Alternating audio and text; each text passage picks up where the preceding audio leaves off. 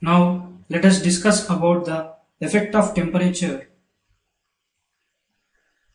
while changing from solid to gas state. That is solid substance is subjected to an increasing temperature how it changes its state directly from solid to gas state.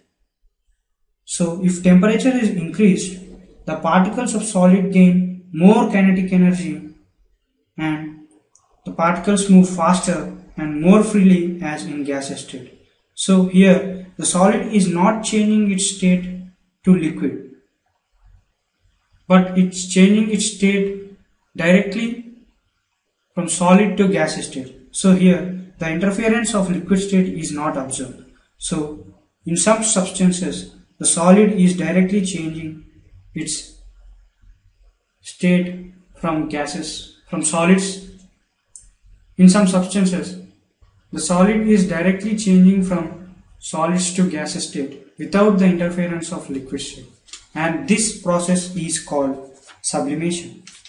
So sublimation is nothing but any substance which changes its state from solid to gaseous state or gaseous to solid state without the interference of liquid state. Then that process is called sublimation. So for example, heating of ammonium chloride is also a sublimation process.